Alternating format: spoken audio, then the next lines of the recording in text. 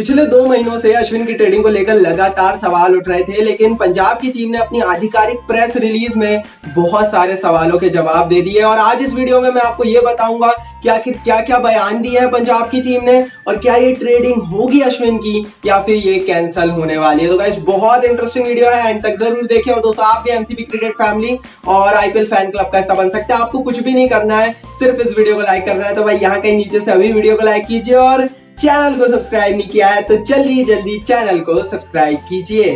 दरअसल दोस्तों, दो दिन पहले ही अश्विन ने अपने ट्विटर बायो में से पंजाब की टीम का नाम हटा दिया था।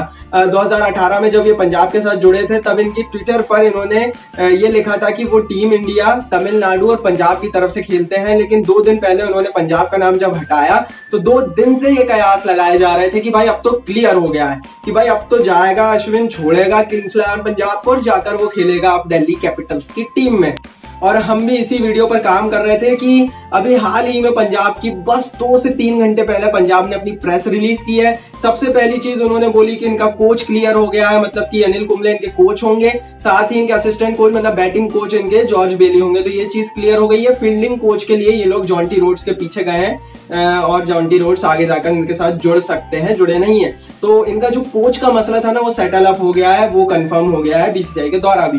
अब इनका जो मसला था ना, वो अश्विन का था और अश्विन पर इनके को ऑनर नेसवाडिया ने बयान दे दिया। मतलब नेसवाडिया जो लगभग लगभग तीन महीने पहले अपना हिस्सेदारी छोड़ रहे थे, पंजाब की टीम को छोड़ रहे थे अभी तक उन्होंने हिस्सेदारी छोड़ी नहीं है, वो एक साल और कंटिन्यू करेंगे और उन्होंने बयान दे दिया है कि अश्विन को वो रिलीज़ नहीं करेंगे, पंजाब रिलीज़ नहीं करेंगी, अश्विन को वो लोग रिटेन करेंगे।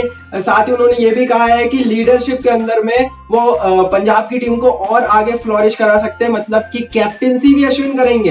ये नेसवाडिया का बयान आया है, द हिंदू में छपा है। मुझे समझ नहीं आ रहा कि भाई किसकी मानू, क्योंकि ये वही द हिंदू है, ये वही सारे अखबार है जो लगभग दो महीने, डेढ़ महीने पहले गांगुली का बयान छापे थे, जिसमें गांगुली ने यह कहा था कि भाई लास्ट स्टेज में हमारी ट्रेडिंग है और बस अब आ ही रहा है अश्विन और बस दिल्ली में खेलेंगे। मतलब एक तरफ़ पंजाब के मालिक बोल रहे हैं कि अश्विन उनकी टीम में ही खेलते रहेंगे, वहीं रिटेन रहेंगे। एक तरफ़ अश्विन का कोई बयान आ ही नहीं रहा। दो दिन पहले उन्होंने पंजाब का नाम हटा दिया था मतलब अभी भी हटा हुआ है नाम। आप ट्विटर पर अभी भी नाम हटा हुआ है। स्क्रीनशॉट आप देख लीजिए।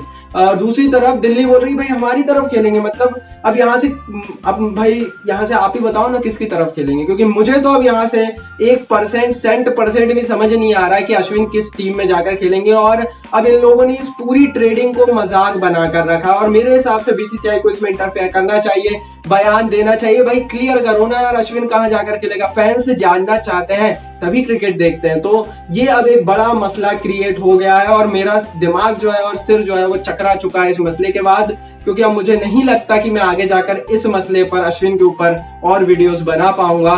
क्योंकि भाई, अगर ऐसी रोज खबरें पलटेंगी तो भाई कोई क्रेडिबिलिटी बचती नहीं है ना।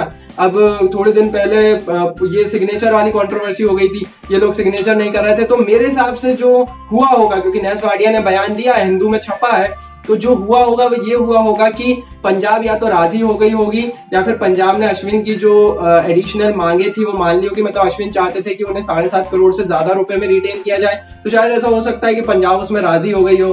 बट कुल मिला के भाई, ये एक तरह से दो महीने का इन्होंने मेला बना दिया है। और अभी तक भी कुछ भी स्थिति क्लियर नहीं है, क्योंकि अभी दिल्ली का बयान आना बाकी है। तो भाई, मुझे तो कुछ समझ नहीं आ रहा। शायद मेरे हिसाब से आपको समझ में आ रहा होगा। तो कमेंट बॉक्स नीचे भाई, आप बताइए क्या होने वाला है। क्योंकि हम बहुत लोगों की समझ से ही ऊपर जा चुका है। क्या होने वाला है? क्या ये बयान जस्टिफाइड है? क्या अश्विन पंजाब में ही खेलेंगे या दिल्ली में खेलेंगे? आप मुझे बताइए, मैं आपको नहीं बता पाऊँगा भाई आप क्योंकि जो हुआ है ना, उसके बाद तो भाई मेरा दिमाग चकरा रहा है। आप बताइए कमेंट बॉक्स आपके लिए कमेंट ज़रूर कीजिए, इस वीडियो को लाइक और शेयर ज़रूर कीजिए अपने दोस्तों के साथ और चैनल को सब्सक्राइब करके बेल आइकन को ज़रूर दबाइए।